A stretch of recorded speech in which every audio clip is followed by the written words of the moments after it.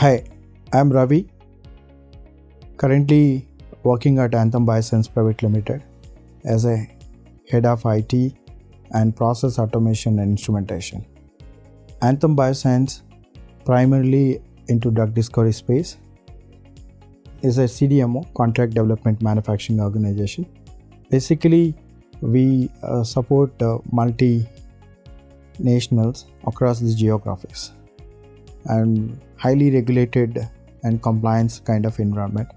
The turnaround time, the expectation from the customers is very very quick, and that is the reason why we started uh, thinking about how do we uh, enable our workforces to monitor and control and access uh, remotely uh, without compromising on the data safety.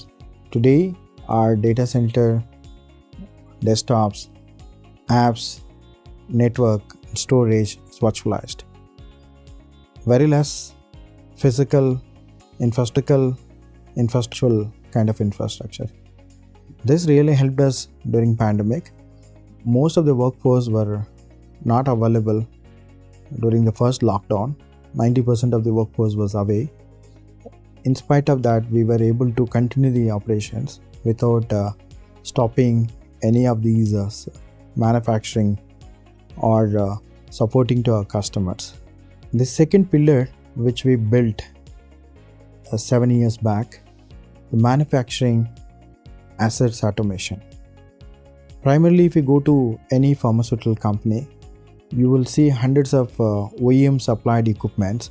Each one will come with their own uh, SCADA, PLC, HMI. Integrating them, it's a really nightmare. We thought, why don't we integrate the operation technology, that's manufacturing uh, assets automation, with IT and enable them to monitoring and controlling remotely. Today, we brought that flexibility in terms of giving uh, tabs to operator or uh, fixed terminals in a specific location they can go and operate anywhere. And this really helped us pandemic time. Today data protection is very vital for uh, pharmaceutical companies. By anticipating the uh, country sponsored uh, attacks we started building a robust cybersecurity framework. So today we have gateway level, network level, server and endpoint level uh, cybersecurity systems. The all four are integrated and they talk to each other seamlessly. As a result of it, we are able to implement a four-layered uh, defensive system. Today we detect known and unknown threats and we analyze them. We do risk assessment about our infrastructure. Then we distribute the knowledge and awareness to all the cybersecurity systems available at Anthem.